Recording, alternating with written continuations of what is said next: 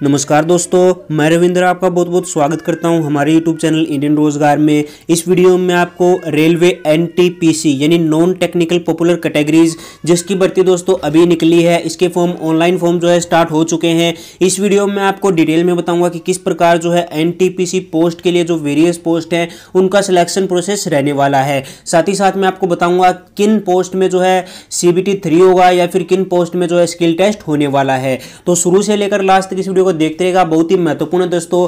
मान लीजिए आपने एग्ज़ाम तो क्वालिफाई कर दिया, लेकिन दोस्तों अगर आप स्किल टेस्ट में रह जाते हैं तो बहुत ही ज़्यादा दुख जो है आपको झेलना पड़ सकता है। तो अभी से आपको पता होना चाहिए कि स्किल टेस्ट में क्या क्या होगा कौन कौन सी पोस्ट के लिए स्किल टेस्ट होगा, क्या आप जिन पोस्ट के लिए एलिजिबल है, उनमें भी स्किल टेस्ट होगा, ये सारी बातें इस वीडियो में आपको बताऊँगा। बस वीडियो को शुरू से लेकर लास्ट तक देखते रहिएगा। तो सबसे पहले दोस्तों आप देख सकते हैं, यहाँ पर ये मैंने ऑफिशियल एडवर्टीजमेंट ओपन कर रखा है, जो कि यहाँ पर आरआरबी की तरफ़ से ऑफिशियल नोटिफिकेशन है एनटीपीसी की पोस्ट का। तो यहाँ पर आपको क्लियरली दिखा हुआ है जो आपका एग्ज़ाम पैटर्न रहेगा दोस्तों सिलेक्शन प्रोसेस रहेगा। यहाँ पर भी आप देख सकते हैं दोस्तों रिक्रूटमेंट प्रोसेस जो आपका रहेगा, वो सबसे पहले आपका जो है सीबीटी वन एग्ज़ाम होगा। जिस प्रकार दोस्तों आपका बेसिक लेवल का सीबीटी वन एग्ज़ाम होगा, जो कि केवल क्वालिफाइंग नेचर है। यानी इसके मार्क्स जो है आपके आगे वाले जो फाइनल मेरिट है, उसमें नहीं जुड़ने वाले हैं। ये केवल क्वालिफाइंग नेचर है। बच्चों को छाटने के लिए जो है ये एग्ज़ाम लिया जाएगा। इसमें क्या होगा दोस्तों सीबीटी वन में इसमें होगा दोस्तों आपका एग्ज़ाम होगा 90 मिनट्स आपको जो है मिलेंगी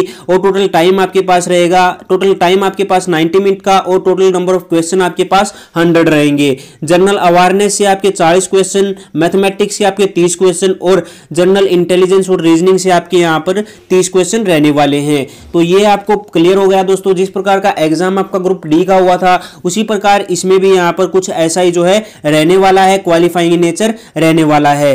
तो यहाँ पर दोस्तों पीडब्ल्यू कैंडिडेट्स को यहाँ पर 120 मिनट का जो है टाइम दिया जाएगा। उसके साथ ही दोस्तों, इसमें भी आपकी नेगेटिव मार्किंग रहेगी, यानी जो भी आपके यहाँ पर सीबीटी वन और टू होगा, दोनों में नेगेटिव मार्किंग रहेगी वन बाय थर्ड की। उसके साथ ही साथ दोस्तों, जो कैंडिडेट्स यहाँ पर सीबीटी वन को क्वालिफाई करेंगे, यानी एक पर्टिकुलर परसेंटेज पर कट ऑफ़ पर जो है यहाँ पर मेरिट लिस्ट लगेगी और जिन जिन कैंडिडेट्स ने इस एग्ज़ाम को क्वालिफाई किया है, उनको फर्दर जो है सीबीटी टू एग्ज़ाम के लिए बुलाया जाएगा। सीबीटी टू एग्ज़ाम में क्या हुआ दोस्तों? यहाँ पर देख लीजिए सीबीटी टू एग्ज़ाम भी जो है आपका वही सिलेबस रहेगा जो कि आपका सीबीटी वन में है। लेकिन दोस्तों, जो लेवल है वो यहाँ पर इंक्रीज कर जाएगा सीबीटी टू में। सीबीटी टू में यहाँ पर जो है अलग से जो है आपका लेवल इंक्रीज कर जाएगा। यहाँ पर दोस्तों नाइनटी मिनट्स में आपको वन ट्वेंटी क्वेश्चन सोल्व करने होंगे, जिसमें से पचास जनरल अवेयरनेस के 35 मैथमेटिक्स के और यहाँ पर 35 क्वेश्चन रीजनिंग के रहने वाले हैं। कुल क्वेश्चन आपको 120 मिलेंगे और यहाँ पर टाइम ड्यूरेशन कितना रहेगा दोस्तों?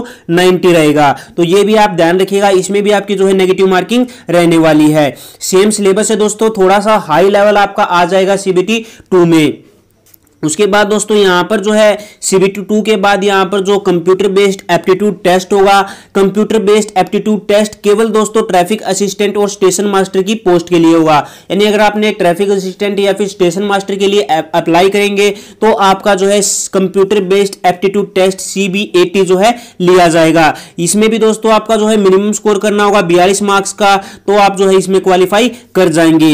अगर दोस्तों आपने ट्रैफ़िक असिस्टेंट या फिर स्टेशन मास्टर से अलग पोस्ट के लिए अप्लाई किया था ग्रेजुएशन बेस या फिर टेंथ बेस में तो आपका जो है एक स्किल टेस्ट होगा, जिसे आप टाइपिंग स्किल टेस्ट भी कह सकते हैं। ये दोस्तों किन किन पोस्ट के लिए होगा? यहाँ पर क्लियरली जो है इन्होंने लिखा हुआ है senior clerk cum typist junior account assistant cum typist, senior time, senior जो है टाइम कीपर उसके बाद junior clerk cum typist accounts clerk cum typist, junior time keeper typing skill test जो है इन पोस्ट के लिए लिया जाएगा। और यहाँ पर दोस्तों marks obtained typing skill test shall not be added for making merit यानी जो आपका टाइपिंग टेस्ट है, जिस प्रकार आपका जो है एसएससी में होता है टाइपिंग टेस्ट उसी प्रकार का टाइपिंग टेस्ट रहेगा।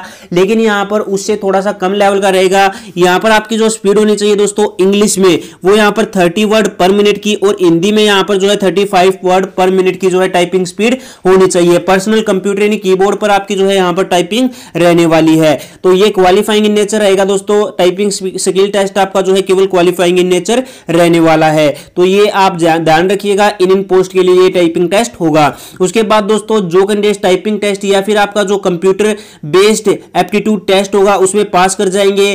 तो आपका जो है यहाँ पर डॉक्यूमेंट वेरिफिकेशन के लिए बुलाया जाएगा। डॉक्यूमेंट वेरिफिकेशन के बाद आपका जो है यहाँ पर बेसिक मेडिकल और यहाँ पर जो है आपकी फाइनल मेरिट लिस्ट पब्लिश कर दी जाएगी। तो ये था दोस्तों कुछ आपका जो है आपका सिलेक्शन प्रोसेस जो आपकी एनटीपीसी में पोस्ट निकली है जूनियर कलर कम टाइपिस्ट की अकाउंट कलर कम टाइपिस्ट की जूनियर टाइम कीपर की ट्रेंस कलर की कमर्शियल कम टिकट कलर की ट्रैफ़िक असिस्टेंट की गुड्स गार्ड की senior commercial cum ticket clerk की सीनियर कलर कम टाइपिस्ट की junior account assistant cum typist की senior time keeper की कमर्शियल अप्रेंटिस की और स्टेशन मास्टर की। तो कुल तेरह टाइप की पोस्ट है दोस्तों, और उनमें से मैंने आपको पोस्ट बता दी है कि ट्रैफ़िक असिस्टेंट और स्टेशन मास्टर के लिए केवल जो है सीबीएटी यानी कंप्यूटर बेस्ड एप्टीट्यूड टेस्ट होगा। बाकी कुछ पोस्ट है दोस्तों, जैसे कि जिनमें टाइपिंग है, उनमें जो है टाइपिंग स्किल टेस्ट लिया जाएगा। गुड्स कार्ड हो गया दोस्तों, ये जो जो कि अप्रेंटिस हो गया, इनमें यहाँ पर जो है किसी प्रकार का स्किल टेस्ट जो है नहीं रखा गया है। तो दो एग्ज़ाम होंगे दोस्तों, आपके एक CBT one CBT two CBT two आपकी जो है मेरिट को डिसाइड करेगा, जिस प्रकार एएलपी में डिसाइड कर रहा है। उसी प्रकार आपका CBT one qualifying in nature है टाइपिंग टेस्ट या फिर स्किल टेस्ट या फिर कंप्यूटर बेस्ड एप्टीट्यूड टेस्ट आपका केवल क्वालिफाइंग इन नेचर रहने वाला है। तो उम्मीद करता हूँ कि दोस्तों आपको सारी जानकारी जो है इस वीडियो के माध्यम से मिल गई होगी। अगर कोई भी डाउट हो, कोई भी क्वेश्चन या फिर कोई भी बात जो मैंने आपको इस वीडियो में नहीं बताई है तो प्लीज़ कमेंट बॉक्स में बताइएगा, हम उसको जो है आपको रिप्लाई ज़रूर से देंगे। उसके साथ ही दोस्तों, अगर आप एनटीपीसी की तैयारी करना चाहते हैं तो आप हमें अन पर फॉलो कर सकते हैं। लिंक वीडियो के डिस्क्रिप्शन में है, वहाँ पर हमने जो आपके लिए प्रीवियस ईयर के क्वेश्चन का जो है सेट चला रखा है। तो ज़रूर से जाइएगा अन पर फॉलो कर दीजिएगा और जल्दी से अप्लाई कर दीजिए दोस्तों। सोच समझ कर अप्लाई कीजिएगा, क्योंकि बाद में आप मॉडिफिकेशन यहाँ पर नहीं कर पाएँगे। तो मिलते हैं आपको एक और नई वीडियो में। तब तक के लिए बने रहिए हमारे साथ इंडियन रोज़गार पर। जय हिंद, जय भारत।